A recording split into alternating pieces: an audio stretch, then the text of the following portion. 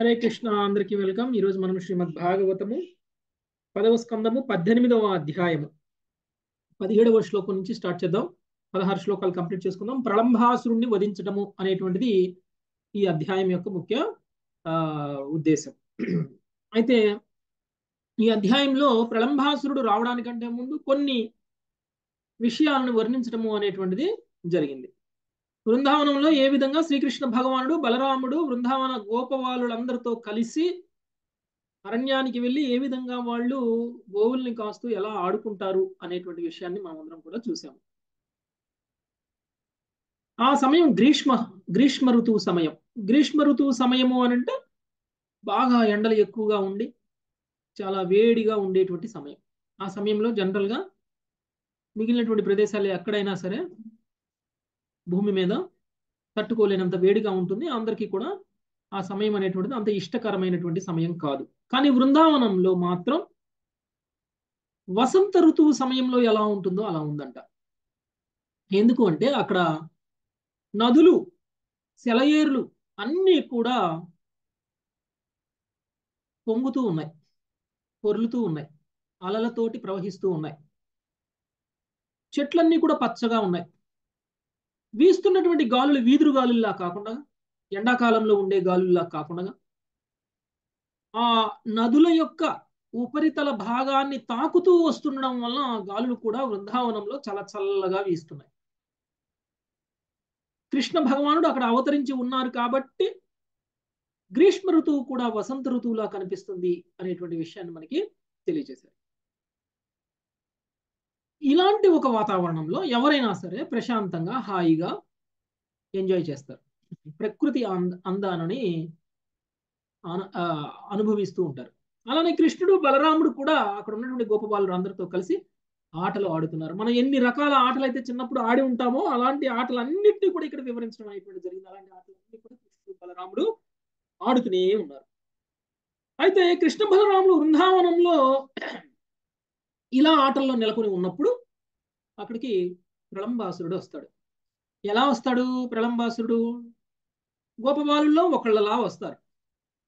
చూడటానికి గోపబాలుడనే అనుకుంటారు అందరూ కానీ ఆయన ప్రళంబాసురుడు. సో అది ఇంకా జరగలేదు. పదిహేడవ శ్లోకం నుంచి మనం ఈరోజు చదువుతాము. అందులో ప్రళంబాసురుడు ఏ విధంగా గోపబాలుడి వేషంలో వస్తారు అనేటువంటిది మనకి వివరించబడుతుంది. ఆ తర్వాత బలరాముడు ప్రళంబాసురుడిని వధించడం చూద్దాం మనం. నెక్స్ట్ పదిహేడవ శ్లోకం లక్ష్మీ ఆత్మకూర్మద హరే కృష్ణ పశుంశ్చారయతోర్భోపైస్తధ్వనే రామకృష్ణయో పశుంచాంచర యతోర్గో పైస్తైద్వయే రామకృష్ణయో గోపరూపీ ప్రలంభోగా అసురస్తజి అతురస్తజిహీర్షయాం భూపరూపీ ప్రలంబో గాధ గాధాసురస్తు జిహీషయ రామకృష్ణులు రామకృష్ణులు వారి గోపమిత్రులు ఈ విధముగా బృందావరణ్యము బృందారణ్యమునందు గోవులను వేపుచుండగా ప్రలంబాసుడు వారి మధ్యకు వచ్చును. కృష్ణ బలరాములు హరింపదలచిన వాడై కృష్ణ బలరాములను హరింపదలచిన వాడై ఆ అసురుడు గోపరూప గోపరూపమును ధరించుటను. భాష్యము కృష్ణ బలరాములు ఏ విధముగా సాధారణ బారుల వలె వర్తించిరో వివరించిన పిమ్మట సుఖదేవ గోస్వామి మానవాతీతమగు దివ్య భగవద్లీలలో ఒక దానిని ఇప్పుడు వెల్లడి చేయుచున్నారు. ఆ ఆ రోజు ఏదో పని నిమిత్తము ఇంటి అందే ఉండిపోయిన ఒక గోపబాలుని రూపమును ప్రలంబాసుడు ధరించెనని శ్రీల విశ్వనాథ చక్రవర్తి ఠాకూర్లు పలికిరి. హరే కృష్ణ ప్రభుజీ ధన్యవాదాలు ఓకే సో రామకృష్ణుడు గోపమిత్రులు ఆ విధంగా బృందావన అరణ్యంలో గోవులను మేపుచుంటగా ప్రళంబాసురుడు వారి మధ్యకు వచ్చాను ప్రళంబాసురుడి ఎంట్రన్స్ ఎంట్రీ ఇక్కడ స్టార్ట్ అయిపోయింది. సో ఉద్దేశం ఏంటి? కృష్ణ బలరాముల్ని ఆయన చంపాలి అనేటువంటి ఉద్దేశంలో గోపరూపాన్ని ధరించి వచ్చారు. గోపరూపము అంటే అక్కడ ఉన్నటువంటి గోపబాలు లాగా ఆయన ధరించి వేషాన్ని వేసుకొని రావడం అనేటువంటిది జరిగింది. సో సో భగవంతుడు చేసినటువంటి లీలల్లో ఇంకొక లీలని మనం ఇప్పుడు చూడబోతున్నాం. నెక్స్ట్ పద్దెనిమిదవ శ్లోకం. శిరీష్ మాతాజీ. హరే కృష్ణ ప్రభుజీ. తం విద్వానపి దాశార్హో భగవాన్ సర్వదర్శన.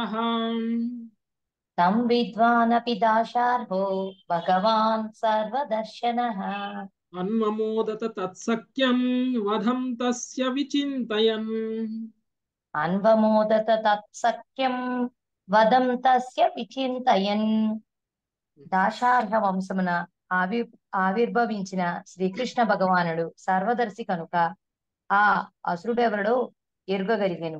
అయినను అసురుని మిత్రునిగా అంగీకరించుచున్నట్లు నటించు నటించుచుని ఆ దేవదేవుడు వానిని వధించేడు విధముగా గూర్చి గంభీరముగా ఆలోచింపసాగాను హరే కృష్ణ ప్రభుజీ. ఓకే గోపబాలుల్లో ఒక గోపబాలుల్లో ఉన్నారు.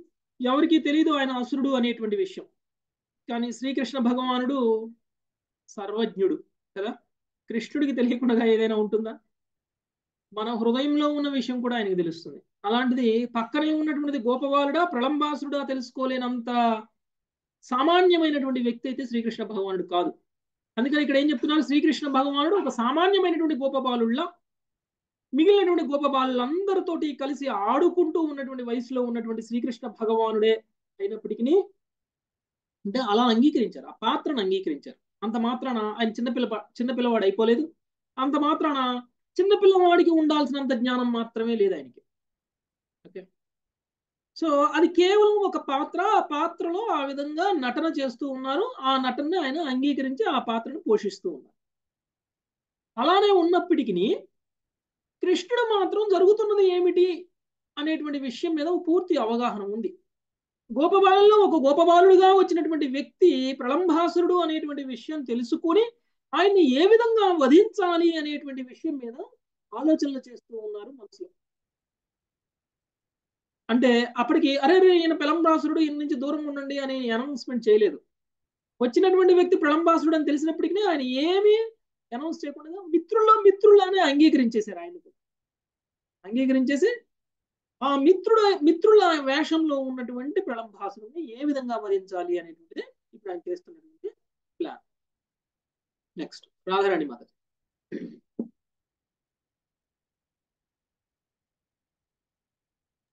హరే కృష్ణ ప్రభుజీ వెంటనే అన్మ్యూట్ చేసుకోవాలి మాతాజీ.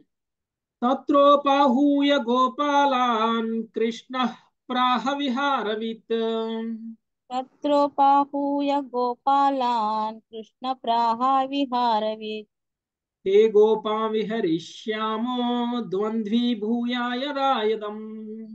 హే గోప విహారీ శ్యామో ద్వంద్వి భూయా యథా తథం అన్ని ఆటలు నెరిగిన అచ్యుతుడు అంతట గోపబాలులను పిలిచి వారితో ఓ గోపాలుల గోపబాలులారా ఇప్పుడు మనం రెండు జట్లుగా విడబడి ఆడుదామని పలికెను. ద్రౌపదుల వారి భాష్యము.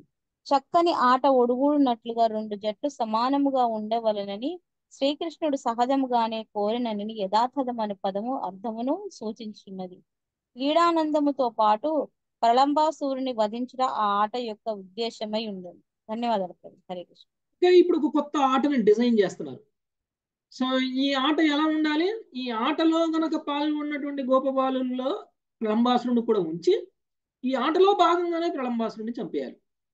ఓకే ఇది ఆయన ప్లాన్. అందుకనే ఒక కొత్త ఆట. ఈ ఆట ప్రకారంగా ఆయన రూల్స్ చెప్తున్నారు అనమాట ఏదైనా సరే మనం ఆట ఆడుకునేటప్పుడు ముందుగా రూల్స్ నిర్ణయించుకుంటాం. ఓకే ముందు రెండు జట్లుగా విడిపోవాలి రెండు జట్లు సమయుజ్జీలై ఉండాలి. అప్పుడే ఆ ఆట ఆడితే ఎవరు గెలిచారు అనేటువంటి దాని మీద ఒక నిర్ధారణకు వచ్చినప్పుడు అప్పుడు ఆ గెలుపు అనేటువంటిది సమ ఉజ్జీల మీదనే గెలుపు అనేటువంటిది ఉండాలి. అందుకనే రెండు జట్లుగా విడిపోవాలి సమానమైనటువంటి శక్తి సామర్థ్యాలు ఉండే విధంగా ఆ జట్టుని విడగొట్టాలి. సో అది ముందుగా ఆయన నిర్ణయించినటువంటిది ఆటలో భాగంగా. Okay next. ఇరవై శ్లోకం. అమృత మాతాజీ తత్ర చక్రుః పరివృఢౌ గోపా రామ జనార్దనౌ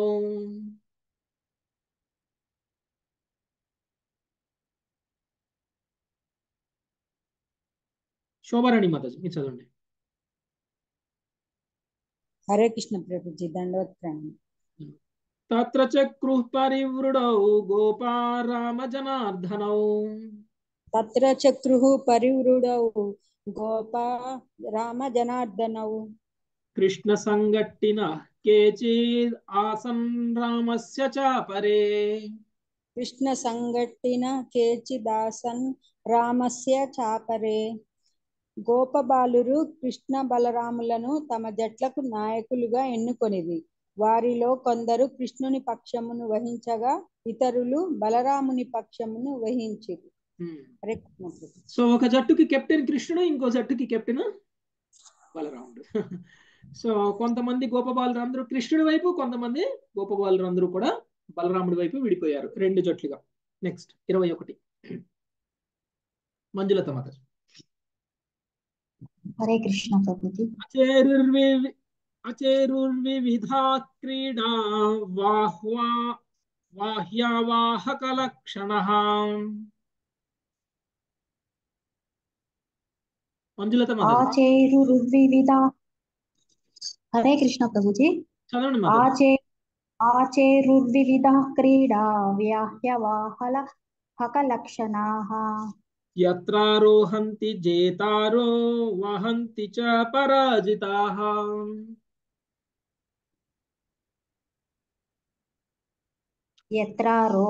జేతారో వహంతి చ పరాజితాః ఆ బాలురు వాహ్యవాహక లక్షణములను కలిగినట్టి నానా విధములకు ఆటలు నాడే ఆటల నాడిరి. ఆ ఆటలలో విజేతలు పరాజితుల భుజములపై నెక్కుతుండగా పరాజితులు వారిని మోయుచుండిరి. భాష్యము.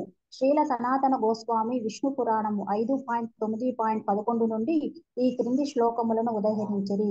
హరినా క్రీడనం నామా బాల క్రీడనకం తత ప్రక్రీడతా హితి సర్వే ద్వౌ ద్వౌ యుగ పదత్పుతన్ అప్పుడు వారు హరినా క్రీడన మను ఆటను ఆడిరి.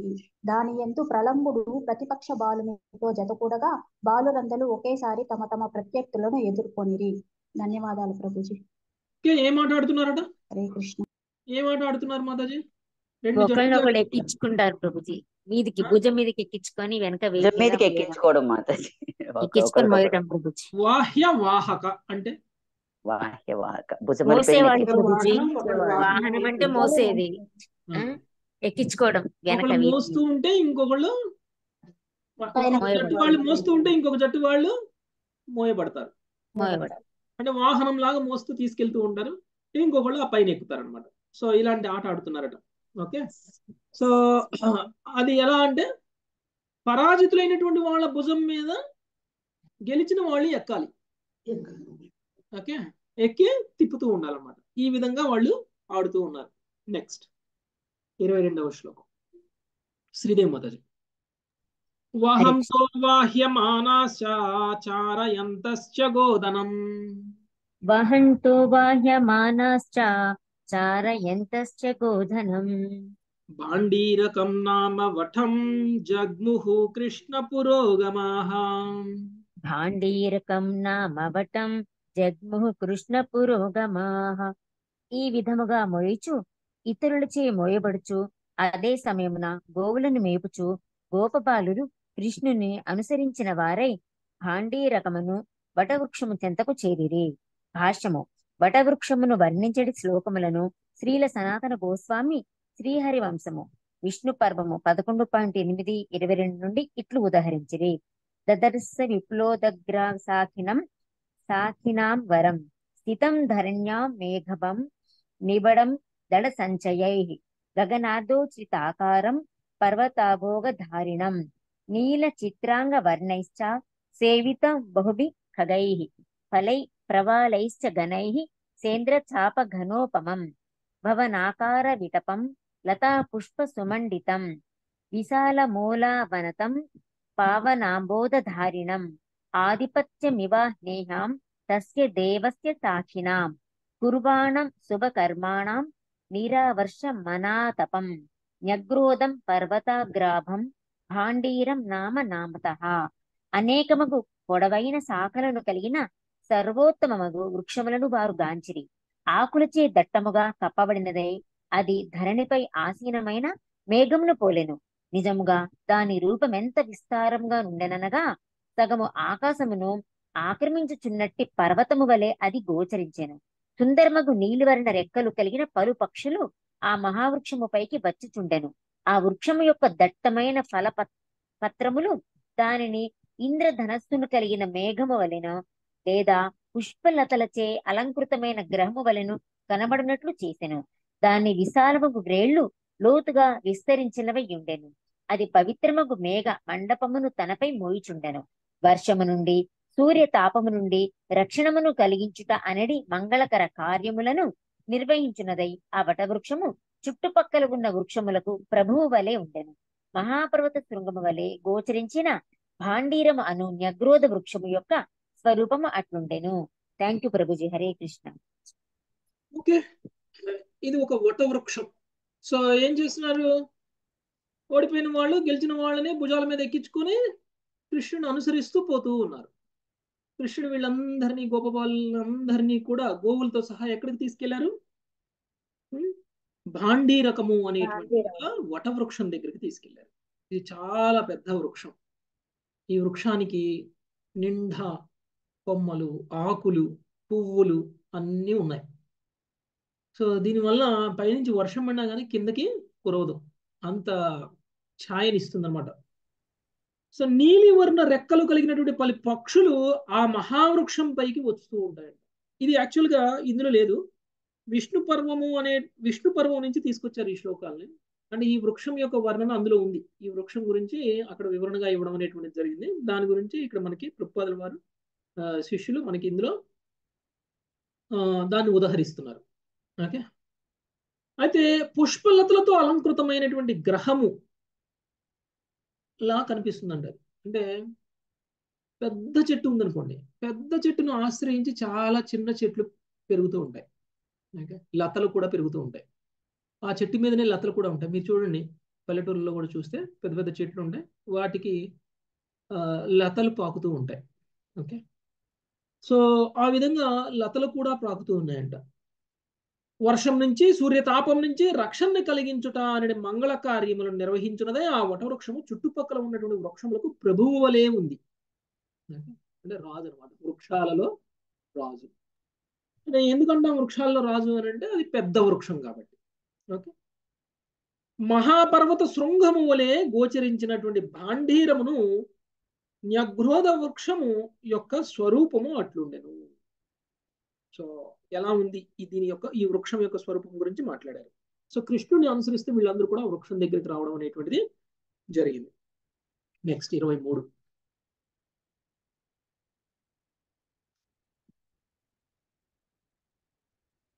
సునీత మాతాజీ. రామ సంగట్టినో యర్హి శ్రీ శ్రీధామ వృషభా వృషభాదయ. రామసంఘట్టినోయర్హి శ్రీరామ వృషభాదయ క్రీడాయాం జైనస్తాంస్తాన్ ఊహుః కృష్ణదయో నృపా క్రీడాయాం జయినస్తాంస్తానోహు కృష్ణాదయో నృప భావం పరీక్షిన్ మహారాజా శ్రీరాముడు వృషభుడు మున్నగు బలరాముని జట్టులోని వారు ఆ ఆటలలో విజేతలు కాగా కృష్ణుడు అతని జట్టులోని సభ్యులు వారిని మోసిరి. హరే కృష్ణ ప్రభుజీ ధన్యవాదాలు ఓకే సో కృష్ణుడు అతని జట్టులోని సభ్యులు బలరాముని జట్టులో వాళ్ళని మోయడం చేశారు. ఓకే సో బలరాముడి జట్టులో ఉన్న వాళ్ళని కృష్ణుడి జట్టులో ఉన్న వాళ్ళు మోస్తున్నారు. అంటే కృష్ణుడి జట్టులో ప్రళంబాసురుడు ఉన్నారనమాట సో ప్రళంబాసురుడు ఇప్పుడు బలరాముడిని మోయబోతున్నారు. సో అది అది రావడానికంటే ముందు కృష్ణుడు ఇలాంటి ఏర్పాటు చేసేసారు. ఓకే సో సో తర్వాత ఏం జరిగిందో చూద్దాం. ఇరవై నాలుగు. గౌరీ మాతాజీ.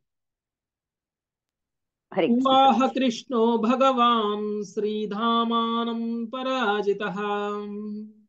ఉవాహ కృష్ణో భగవాన్ శ్రీదామానం పరాజితః.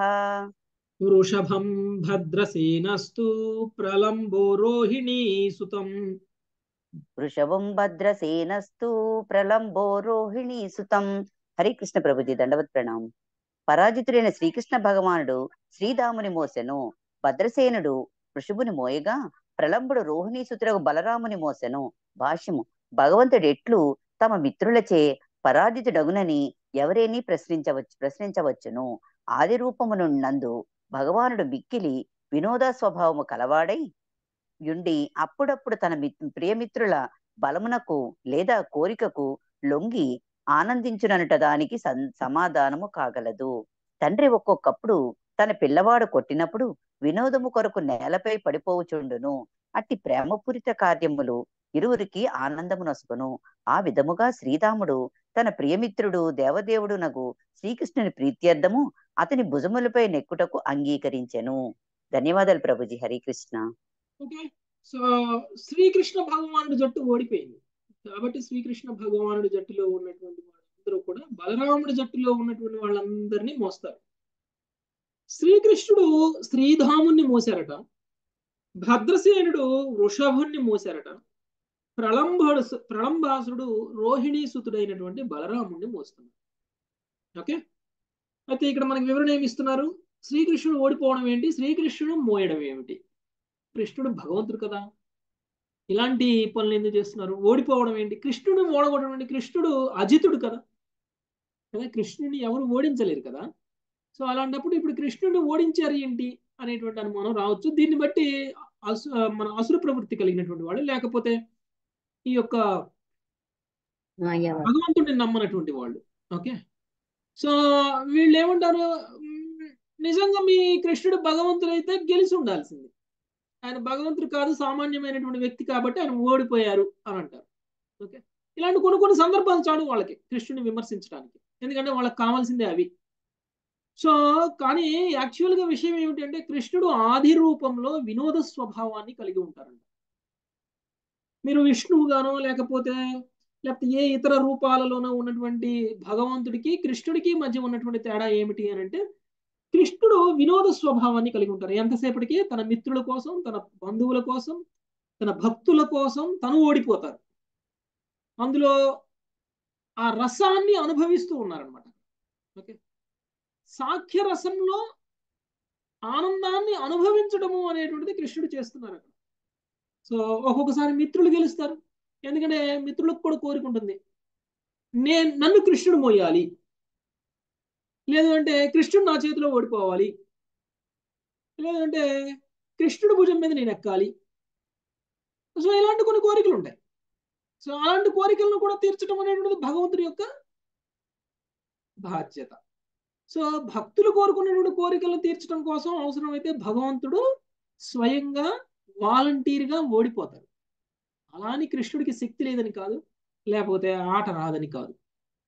కృష్ణుడు స్వచ్ఛందంగా ఓడిపోతారు. ఎందుకు? వాళ్ళ కోరికలు తీర్చడం కోసం. ఏ విధంగా అయితే ఒక తండ్రి పుత్రుడు కొడుతూ ఉంటే పుత్రుడు షూట్ చేస్తాడు ఒక్కొక్కసారి. మనం గన్ను కొనిస్తే షూట్ చేస్తాడు. షూట్ చేసినప్పుడు తండ్రి ఏం చేస్తాడు? నిజంగానే తగిలింది అన్నట్టు డ్రామా చేస్తూ కింద పడిపోతాడు. లేకపోతే కాలుతో తంతూ ఉంటే అబ్బా అయ్యా నొప్పి నొప్పి లేస్తుంది నాకు అని ఏడుస్తూ ఉంటాడు. సో ఈ విధంగా పుత్రుడికి ఆనందం కలిగించడం కోసం తండ్రి ఓడిపోయినట్టు డ్రామా చేస్తాడు. పుత్రుడి చేతితో కొట్టబడినట్టు దెబ్బ తగిలినట్టు పడిపోయినట్లు ఇలాంటి డ్రామాలు చేస్తూ ఉంటారు. దాని అర్థం తండ్రికి పుత్రుడి కంటే శక్తి తక్కువ ఉందనా?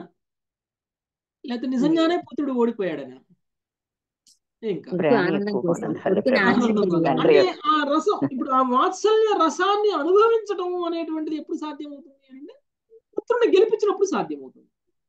తను ఓడిపోయినప్పుడు సాధ్యమవుతుంది. అలానే ఇక్కడ తన యొక్క మిత్రులు సాఖ్య సంబంధంలో రసాన్ని అనుభవిస్తూ ఉన్నారు. సాఖ్య సంబంధంలో రసాన్ని అనుభవించాలి అని అంటే అవసరమైతే ఆయన కూడా ఓడిపోవాలి.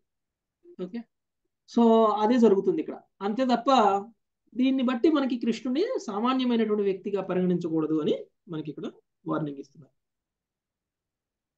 ఓకే? నెక్స్ట్. ఇరవై ఐదు.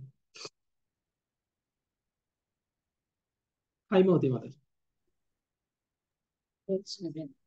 అవిషహ్యం మన్యమానా కృష్ణం ధానవ పుంగవ సహ్యమన్యమానః కృష్ణం దానవ పుంగవ వహం ధృతతరం ప్రాగాద్ అవరోహణతః పరం వహం ధృతతరం ప్రాగా అవరోహణత పరం శ్రీకృష్ణుడు అజయుడని భావించిన వాడై ఆ అసురాగ్రగణ్యుడు అనగా ప్రలంబుడు బలరాముని మోయచ్చు. దించవలసిన స్థానమునకు అత్యంత దూరముగా అతని కొనిపోయెను. భాష్యము. బలరామునిపై క్రూరముగా దాడి చేయుటకు ప్రలంబాసురుడు అతనిని కృష్ణుని చూపునకు దూరంగా కొనిపోవ కోరెను హరే కృష్ణ ప్రభు దండవత్ ప్రణామం. ఓకే సో ప్రళంబాసురుడు బలరాముడిని మోస్తూ ఉన్నాడు. యాక్చువల్గా ప్రళంబాసురుడు బలరాముడిని ఎందుకు మోస్తున్నారంటే కృష్ణుడి నుంచి దూరంగా తీసుకుపోవాలని. కృష్ణుడు మిగిలిన వాళ్ళందరినీ కూడా ఆ వృక్షం దగ్గరికి వటవృక్షం దగ్గరికి తీసుకెళ్తుంటే ప్రళంబాసురుడు మాత్రం బలరాముడిని కృష్ణుడి నుంచి దూరంగా తీసుకెళ్తున్నారు. ఎందుకంటే కృష్ణుడిని చంపడం కష్టం. కృష్ణుడి దగ్గరలో ఉంటే గనక కృష్ణుడిని చంపడం లేకపోవడం పోగా ఇక్కడ ఉన్నటువంటి గోపబాలుల్లో కానీ బలరాముడిని కానీ ఎవరిని చంపాలనేటువంటి ప్రయత్నం చేసినా కానీ కృష్ణుడు రక్షిస్తాడు. కాబట్టి బలరాముడిని చంపాలి అంటే ముందు కృష్ణుడి నుంచి దూరంగా తీసుకువెళ్ళాలి అని తను దూరంగా బలరాముడిని తీసుకువెళ్ళటానికి ప్రయత్నం చేస్తున్నారు. పరిగెడుతూ ఉన్నారు. నెక్స్ట్ ఇరవై ఆరు. అనుపమ మాతాజీ. హరే కృష్ణ ప్రభుజీ. తమూద్వహం ధరణి ధరేంద్ర గౌరవం.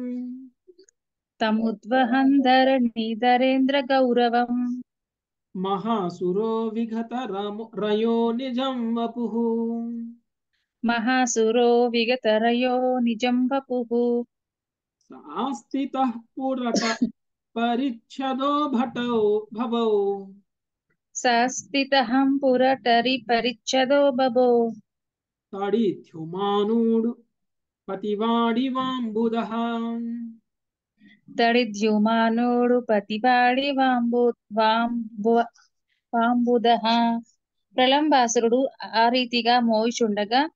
బలరాముడు సుమేరు పర్వతమంతా బరువుగా అయ్యెను.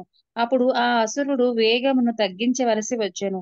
అంతట వాడు సువర్ణాభరణ భూషితము చంద్రశోభిత విద్యుత్పదీప్తమైన మేఘ సదృశ్యమునగు తేజోమయ దేహముతో నిజరూపమును ధరించెను. భాష్యము.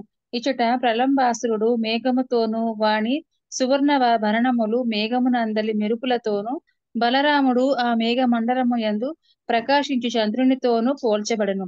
మహాసురులు తమ మాయచే పలు రూపములను పొందగలరు. కాని భగవంతుని ఆధ్యాత్మిక శక్తి వారి శక్తిని నశింపచేసినప్పుడు వారు కృత్రిమ రూపమున కొనసా కొనసాగజాలక తిరిగి తమ వాస్తవమైన దానవ రూపమునే పొందగలరు.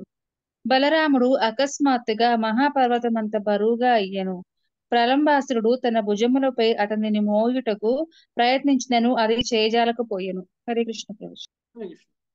మామూలుగా అసురులందరికీ కూడా చాలా సిద్ధులు ఎక్కువగా ఉంటాయి. ఎందుకు? వాళ్ళు చాలా తపస్సులు చేస్తారు. ఓకే?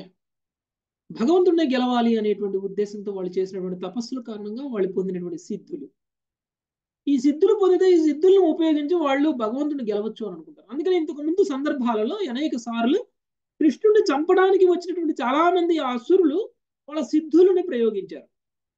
సిద్ధులను ప్రయోగించి మాయవేషాలు వేయడం గాలిలో ఎగరడం పైకి తీసుకువెళ్ళడం. సో రూపాలు మార్చడం శకటాసురుడిగా వచ్చాడు. ఓకే ఒకడు. ఆ లేకపోతే తృణావర్తుడు కూడా. తృణావర్తుడు కూడా. మళ్ళీ లేకపోతే గోవుల్లో గోవులాగా.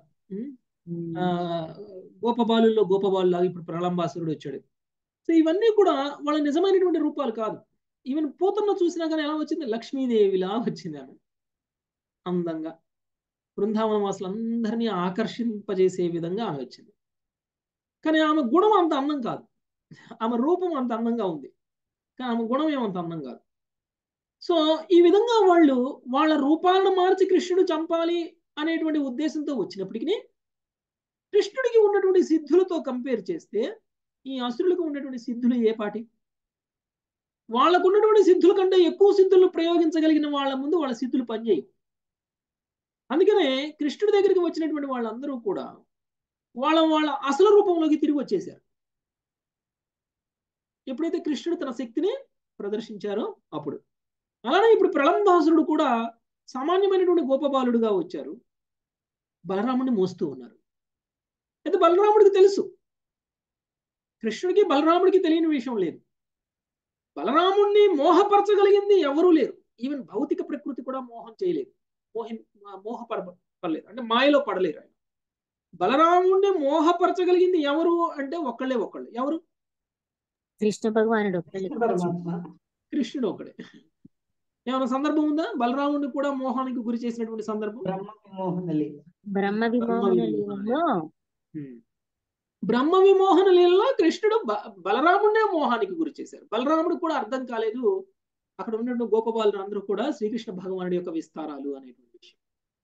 సో అలా మోహం చేయగలిగిన అంటే అసురుల మోహానికి గురి ఎవరు? ప్రకృతి మోహానికి గురి ఎవరు? గుణాల ప్రభావంలోకి బలరాముడు కూడా రారు. కానీ కృష్ణ మాయలు మాత్రం ఆయన కూడా ఛేదించలేరు. ఓకే? అలాంటి బలరాముడు ప్రలంభాసురుడు యొక్క మాయ నుంచి ఆయన అర్థం చేసుకోలేరా? చాలా ఈజీగా అర్థం చేసుకోగలరు మోస్తున్నటువంటిది ప్రలంబాసుడు అనేటువంటి విషయం తెలుసు కాబట్టి బలరాముడు తన బరువుని పెంచేశారు. మరి బలరాముడికి సిద్ధులు తక్కువ ఉన్నాయా? స్వయంగా భగవానుడే సేవక రూపంలో ఉన్నటువంటి భగవానుడు. ఆయన బరువు ఎంతగా పెంచారంట? సుమేరు పర్వతం అంత బరువు చేసేసారు సుమేరు పర్వతం ఎంత ఉంటది? తెలుసా మీ అందరికి? ఎందుకు సుమేరు పర్వతంతో పోలిస్తున్నారు? అది ఎత్తున ప్రభుజీ యోజనాల దూరం ఉంటుంది పర్వతంతో పోల్చడం దాని మీనింగ్ ఏమిటి అని అంటే చాలా ఎక్కువ బరువు అయిపోయారు అని చెప్పండి. సుమేరు పర్వతం అన్ని పర్వతాల కంటే కూడా పెద్దగా ఉంటుంది చాలా హైట్గా ఉంటుంది చాలా హెవీగా ఉంటుంది. అందుకనే ఈవెన్ గంగా నది కూడా ఈ భౌతిక విషయంలోకి ప్రవహిస్తుందంటే సుమేరు పర్వతం మీద పడి ఐదు పాయలుగా నాలుగు పాయలుగా చీలిపోయి నాలుగు దిక్కుల వైపుకి నాలుగు పాయలు వెళ్ళిపోయినాయి సుమేరు పర్వతం మీద. గంగా నది కూడా. అంటే అక్కడి నుంచి మళ్ళీ చిన్న చాలా చిన్న నదులు పిల్ల నదులు పిల్ల కాలువల్లాగా ప్రవహించడం అనేటువంటిది చేసింది నాకు గంగా నది ఆ విధంగా భూమి మొత్తం శేషశ్యామలం అయిపోయింది గంగా నది యొక్క ప్రవాహంతో సుమేరు పర్వతం మీద పడబట్టి అది నాలుగు వైపులకి విభజింపబడింది. ఓకే? సో అది అంత పెద్ద సుమేరు పర్వతం ఎంత హైట్లో ఉంటుందంటే దేవతాలోకాలు అంత హైట్లో ఉంటుంది. అందుకని దేవతల యొక్క లోకాలు సుమేరు పర్వతానికి నాలుగు వైపులా ఉంటాయి. మధ్యలో బ్రహ్మదేవుడు ఉంటారు సుమేరు పర్వతం పైన మధ్యలో బ్రహ్మదేవుడు ఉంటారు సో అంత పెద్ద పర్వతం. మరి ఇక దాన్ని ఎంత బరువు? అంటే ఇంకా చెప్పలేనంత బరువు. అంటే ప్రళంభాసురుడు మోయలేనంత బరువు. అందుకని ఏమైపోతుంది? ప్రళంభాసురుడు అప్పటి వరకు గోపవాలులానే ఉన్నప్పటికీ ఇప్పుడు తన నిజశక్తితోటి నిజమైనటువంటి రూపంలోకి రాకపోతే బలరాముడిని మోయలేడు. అంటే అప్పుడు కూడా మోయలేడు అనుకోండి కానీ ఆయన ప్రయత్నం ఆయన చేయాలి కదా. ఒక చిన్న బాలుల్లా ఉంటే ఏం మోయగలుగుతాడు అని చెప్పేసి మళ్ళీ ఆయన పెద్ద ఆకారంలోకి వచ్చేసారు ప్రళంబాసుడు అసలు అసలు స్వరూపంలోకి వచ్చేసారు గంభీరమైనటువంటి స్వరూపంలోకి వచ్చేసారు తేజోమయ దేహంతో నిజరూపమునికి ధరించను ప్రళంబాసుడు ఓకే?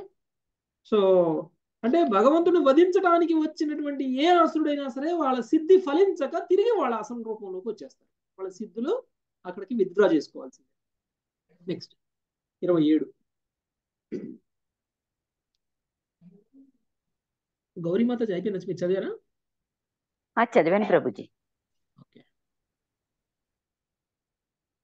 సూర్యకుమారి మాత చదువు మంగతాయర్ మాత ఎవరు సూర్య మంగతాయర్ మాత చదువు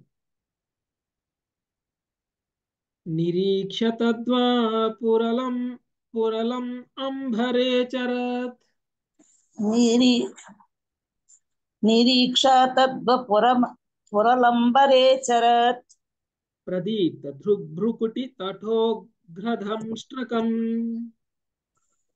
प्रदीप्त भ्रुकुटि तटोग्र द्रष्टकम्। ज्वलच्छिकं कट कटककिरीटकुण्डलम्। ज्वलच्छिकं कटककिरीटकुण्डलं कुण्डलम्। కుండలం విషాద్భుతం హలధర ఈషధత్ర సత్ విషాద్భుతం హలధర ఈషధత్ర సత్ ప్రభుపాదుల వారి భావం. మండుచున్న కన్నులతోనూ అగ్నిశిఖల వంటి శిరోజములతోనూ కదులుచున్న కనుబొమ్మలను తాకుచున్నట్టి ఘోరమగు దంతములతోనూ కూడినట్టి దానవుని మహాకాయము ఆకాశమునందు వేగంతో చరించగా వాని కటక కిరీట కుండలం అద్భుతము కాంతిని ప్రసరించగా ప్రసరించగా గాంచి హరధరుడకు బలరాముడు కొంత భీతుడైనట్లు గోచరించాడు. హరే కృష్ణ ప్రభుపాదుల వారి భాష్యం. బలదేవుని నామమాత్ర భయమును శీల సనాతన గోస్వామికి వివరించింది. బలరాముడు వినోదముగా సాధారణ గోపబాలుని వలె వర్తించుచున్నాను ఆ లీలా భావనమునే కొనసాగించుటకు అతడు ఘోరమ్మకు దానమును కాయమును గాంచి కొంత భీతుడైనట్లు గోచరించాడు అంతేగాక ఆ అసురుడు శ్రీకృష్ణుని యొక్క గోపాలక మిత్రునిగా వచ్చినందునను శ్రీకృష్ణుడు వాని మిత్రునిగా సేకరించిన కారణంనను బలరాముడు అతను వధించిన కొంత సంశయించాను. ఈ గోపబాలుడు నిజమునకు మారువేషమున్న అసురుడు కనుక వేరొక అసురుడు కూడా అదే సమయంలో శ్రీకృష్ణునిపై దాడి చేయి ఉండవచ్చునని తలచి కూడా బలరాముడు చింతితుడై ఉండవచ్చును. ఈ విధముగా సర్వజ్ఞుడు సర్వశక్తిమంతుడు బలము. బలదేవుడు ఘోరరూపుడకు ప్రలంబాసుని ముందు కొంత బయటపడుట ఎనడి లీలను ప్రదర్శించెను. హరే కృష్ణ ప్రేమితి దండాలు గంభీరమైనటువంటి రూపంలోకి వచ్చేసారు గాలిలో ఎగరగలుగుతున్నారు. ఓకే గాలిలో ఎగురుతూ ఉన్నటువంటి రూపంలోకి గాలిలో ఎగురుతూ ఉన్నారు. ఆయన పళ్ళు కూడా కోరలు తేలి ఉన్నాయి. ఓకే ఘోరమైనటువంటి దంతాలను కూడినటువంటి దానుడు మహాకాయము ఆకాశమునందు వేగముతో చరించగా వాని కటక కిరీట కుండలములు అద్భుతముగు కాంతిని ప్రసరించగా గాంచి హాదరుడైనటువంటి బలరాముడు కొంత భీతి చెందినట్లు గోచరించను. కొంచెం భయపడినట్లు కనిపించారట బలరాముడు. అయితే ఈయన భయానికి కారణం ఏంటి? ప్రళంబాసురుడు నన్నేం చేస్తారో అనేటువంటి భయం కాదు. ప్రళంబాసురుడు నన్నేం చేస్తారో అనేటువంటి భయం కాదు. సనాతన గోస్వామి ఆయన ఈ భయం యొక్క మీనింగ్ ఈ భయం ఎందుకు ఈ భయం యొక్క కారణం ఏమిటి అనేటువంటి విషయాన్ని ఆయన వివరించారంట. ఒకటి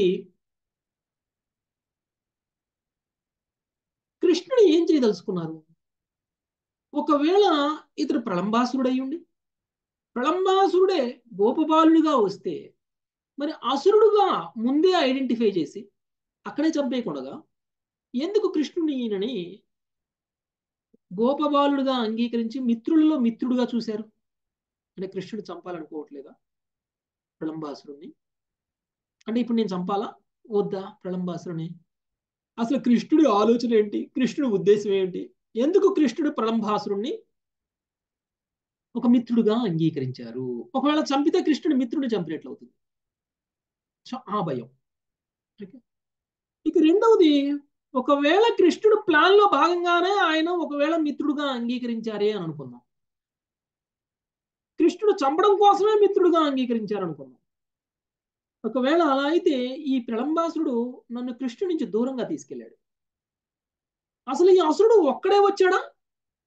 వీనితో పాటు చాలా మంది వచ్చారా? ఒకవేళ వీనితో పాటు చాలా మంది వచ్చినట్టయితే ప్రళంబాసురుడు నన్ను కృష్ణుడి నుంచి వేరుగా తీసుకెళ్ళారంటే కృష్ణుడి దగ్గర ఇంకెవరో ఇంతకంటే పెద్ద అసురుడు ఉండాలి కృష్ణుడికి ఏమన్నా అపాయం జరుగుతుందేమో అనేటువంటిది ఇంకొక భయం. అంటే బలరాముడికి ఉన్నటువంటి భయం తనకేదో అయిపోతుందని కాదు. కృష్ణుడు ప్లాన్ ఏంటి? కృష్ణుడికి ఎవరైనా అపాయం చేస్తారా అక్కడ? ఎందుకంటే కృష్ణుడి నుంచి ఇప్పుడు నేను దూరంగా ఉన్నాను కాబట్టి. అంటే ఒక ఆ ఒక భక్తుడు చూడండి ఒక భగవంతుడికే ఏమి భయం అయిపోతుంది? భగవంతుడికే ఏమైపోతుందో అనేటువంటి భయాన్ని ప్రకటిస్తూ ఉంటారు. వాళ్ళ భావం అలా ఉంటుంది. అంటే బలరాముడు పెద్ద అన్న కాబట్టి కృష్ణ భగవానుడు యొక్క రక్షణ బాధ్యత కూడా బలరాముడే తీసుకున్నాడు. అందుకనే కృష్ణుడికి ఎలా ఉందో కృష్ణుడికి ఏమవుతుందో కృష్ణుడిని చంపడానికి ఎవరైనా ఆసురుడు వచ్చాడేమో అక్కడ కృష్ణుడిని ఎవరికైనా కృష్ణుడికి ఎవరైనా అపాయం తలపెడతారేమో అనేటువంటిది బలరాముడు వ్యక్తం చేస్తున్నటువంటి భయానికి మీనింగ్. నెక్స్ట్ ఇరవై ఎనిమిదవ శ్లోకం. రమ్య మాతాజీ హరే కృష్ణ ప్రభుజీ. ప్రభుజీ ఇక్కడ సందేహించినట్టు అవుతుంది కదా ప్రభుజీ? కృష్ణ భగవాన్ యొక్క శక్తిని. ప్రేమ మాతాజీ సందేహం కాదు. కృష్ణుడి మీద ప్రేమ. అదే భక్తులకి కృష్ణుడిని రక్షించాలి అని కోరుకుంటారు. సందేహం కాదు. ఆయన భావం ఎలా ఉంది అనేది ఇంపార్టెంట్. ఓకే? పైగా తమ్ముడుగా ఉన్నాడు కాబట్టి అన్నగా తన బాధ్యత. అన్నగా కృష్ణుడి రక్షణ బాధ్యత అయింది. ఓకే. హరే కృష్ణ ప్రభు अतागतस्मृतिरभयो रिपुम्भलो अदागतस्मृतिरभो रभयो रिपुम्बलो विहाय सार्धम् इव हरन्तमात्मनः विहाय सार्धमिव हरन्तमात्मनः वृषाः नच्छीरसि दृढेन मुष्टिना। वृषाः नच्छिरसि दृढेन मुष्टिना।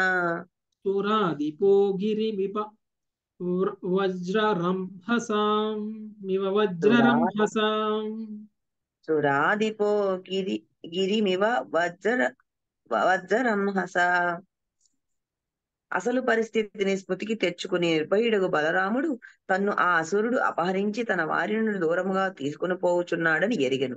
అంతటా అతడు కుపితుడై దేవరాజు ఇంద్రుడు వజ్రాయుధముచే పర్వతమును కొట్టినట్లు తన గట్టి పిడికిలి పొటలుచే అసురుని శిరమును కొట్టెను. భాష్యం కొండను పిండి చేయుచు వజ్రాయుధ ఘాతము పర్వతముపై వచ్చి పడినట్లు బలరాముని బలమైన పిడికిలి పోటు అసురుని శిరమును చూర్ణము చేయుచు వానిపై వచ్చి పడెను. విహాయసార్థమివ అను పద సమూహము విహాయస అర్థమివ అని కూడా పద విభజన చేయవచ్చును. దాని అర్థమేమనగా తన ప్రయత్న లక్ష్యమగు బలరాముని ఎత్తుకొని పోయేడు ఉద్దేశముతో ఆ అసురుడు ఆకాశ మార్గమున విహాయస చలించను అన Hare Krishna. Thank you okay so బలరాముడు ఒక్కసారి స్పృహలోకి వచ్చేసాడు.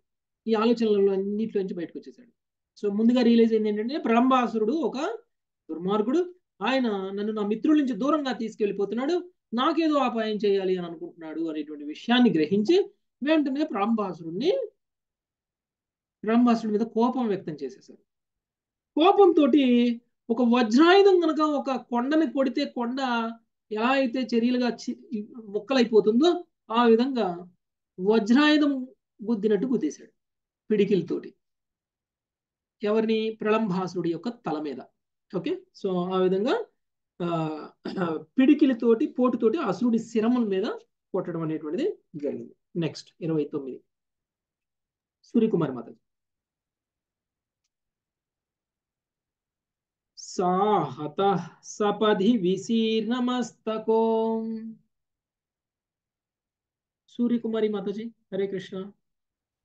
హరే కృష్ణ ప్రభు తర్వాత ప్రాణం చేసి సాహత సపధి విశీర్ణమస్తకో సాహత అహత సపది విశీర్ణమస్తకో ముఖాధ్వ ముఖాధ్వమన్ రుధిరమపస్మృతోసురః ముఖాధ్వమన్ రుధిరమపస్మృతోసురః మహారవం మహారవం గిరిర్యథా మఘవత ఆయుధాహతః. గిరీర్యదా మఘవత ఆయుధాహత. ఆ విధముగా బలరాముని పిడికిలి పోటుచే ప్రభా ప్రలాంభాసుని శిరము వెంటనే పగిలిపోయాను. నోటి వెంట రక్తమును గ్రక్కుచు స్మృతి తప్పిన వాడే ఆ అసురుడు అంతటా ఇంద్రునిచే ధ్వంసమైన పర్వతం వలె వికత జీవుడే పెద్ద శబ్దముతో నేలపై పడెను. ఓకే సో బలరాముడు ఎంత బలవంతుడు? ఆయనకి ఎందుకు పెట్టారు పేరు? గర్గముని?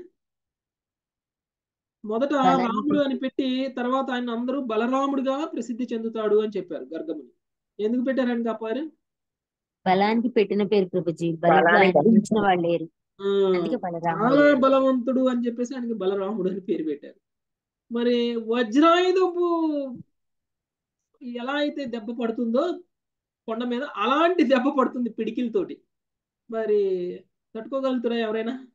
ప్రళంబాసుడు తట్టుకోగలరా బలరాముడు పిడికిలి దెబ్బకి? కష్టం. అందుకనే నోటి వెంట రక్తాన్ని కక్కుతూ స్మృతి తప్పిన వాడై ప్రళంబాసుడు పర్వతం ఎట్లయితే పడిపోతుందో అలా పడిపోయాడంట. ఇంద్రుడి వజ్రాయుధం దెబ్బకి ప్ర- పర్వతం ఎలా అయితే ముక్కలు ముక్కలైపోయి పడిపోతుందో ధ్వంసం అయిపోతుందో ఆ విధంగా పెద్ద శబ్దం చేస్తూ నేల మీద పడిపోయాడు. ఓకే? నెక్స్ట్ మళ్ళీ శ్రీమాతాజీ. హరే కృష్ణ ప్రభుజీ. దృష్ట్వా ప్రళంబం నిహతం బలేన బలశాలినా. దృష్ట్వా ప్రలంబం నిహతం బలేన బలశాలినా. గోపాసు విస్మిత ఆసన్ సాధు సాధ్వితివాదినః గోపః విస్మిత ఆసన్. సాధు సాధ్వితివాదినః. బల్ బలశాలి యొక్క బలరాముడు ప్రలంబాసురుని వధించిన విధమును గాంచి అతి విస్మృతులైన గోపబాలురు బాగు బాగని పలికిరి బాగు బాగని పలికిరి. హరే కృష్ణ. ఓకే. సో చాలా బలశాలి అయినటువంటి బలంబా బలరాముడు ప్రళంభాసుని వధించినటువంటి విధానాన్ని చూసినటువంటి గోపబాలు అందరూ కూడా విస్మితులైపోయి ఆహా ఓహో అని అంటున్నారు అనమాట ఎంత గొప్పవాడు అని. మామూలుగా కృష్ణుడు వధించినప్పుడు కృష్ణుడు కూడా అలానే కీర్తించేవాళ్ళు. బలరాముడిని కూడా కీర్తిస్తారు.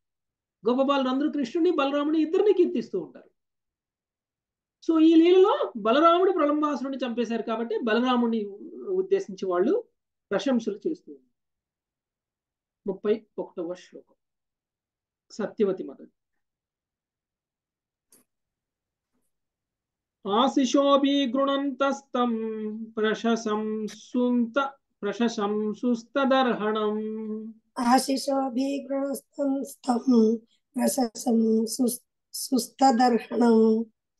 ప్రేత్యాగతమివాలింగ్య ప్రేమ విహ్వల చేతస చాగతమివాలింగ్య ప్రేమ విహ్వలత ప్రేమ విహ్వల బలరాముని ఆశీర్వదించి ప్రశంసార్హుడకు అతనిని వారు మిగుల ప్రశంసించింది పిమ్మట ప్రేమ వివాహాల చిత్తంతో వారతడు తిరిగి బ్రతికిన చందమున ఆలింగనం చేసుకునేది హరే కృష్ణ సో అందరూ కూడా ఆయన్ని ప్రశంసించి ఎందుకంటే ప్రశంసకి అర్హుడు. ఆయన చేసినటువంటి గొప్ప పనికి వాళ్ళందరూ కూడా ఆయన్ని ప్రశంసిస్తున్నారు.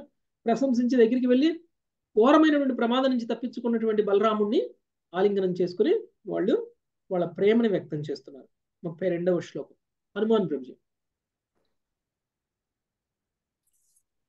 హనుమాన్ ప్రభు హరే కృష్ణ ప్రభుజీ హరే కృష్ణ పాపే ప్రలంబే నిహతే దేవా పరమ నివృతాః పాపే ప్రలంబే నిహతే దేవాక పరమ నిర్వృత అభ్యవర్షన్ బలం మాల్యై శశంసుః సాధు సాధ్వితి అభ్యవర్షన్ బలం మాల్యై శశంసు సాధు సాధ్వితి హరే కృష్ణ ప్రభుజీ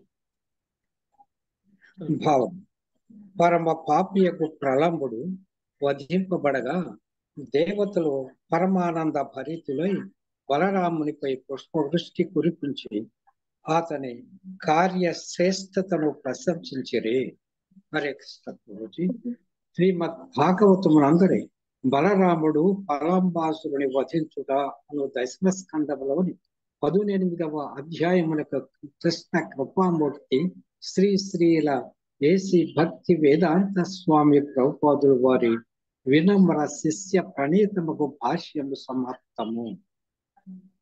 సో ఈ విధంగా ప్రళంబాసురుని బలరాముడు చంపారు కాబట్టి తన మిత్రులతోటి ప్రశంసింపబడమే కాకుండా చివరికి దేవీ దేవతలతోటి కూడా ప్రశంసింపబడ్డారు. దేవీ దేవతలు కూడా ప్రళంబాసుడి మీద సారీ బలరాముడి మీద పుష్పవృష్టి కురిపించారు. ఓకే? ఆయన కూడా కీర్తించడం అనేటువంటిది జరిగింది. ఇక్కడికి ప్రళంబాసురుడిని వధించుట అనేటువంటి అధ్యాయము కంప్లీట్ అవుతుంది. దావానల పానము. పంతొమ్మిదవ అధ్యాయం దావానల పానము. ఓకే? సో ఏ విధంగా శ్రీకృష్ణ భగవానుడు దావాననం నుంచి గోప గోప గోప గోపల గో గోపాలుని తర్వాత గోవులని వృందావన వాసులని రక్షించారు అనేటువంటిది మనకి ఈ అధ్యాయంలో వస్తుంది. ఇది కూడా చిన్న అధ్యాయము. రేపు చదువుకుందాం మాట తీసుకుని okay? Thank you very much Hare Krishna. వంశాకల్పతరుభ్యశ్చ కృపా సింధుభ్య హరే కృష్ణ. అనంత కోటి వైష్ణవ జై Hare Krishna Hare Krishna Krishna Krishna Krishna Hare Hare Hare Rama Hare Rama Rama Rama Hare Hare Hare okay thank you very much Hare Krishna Krishna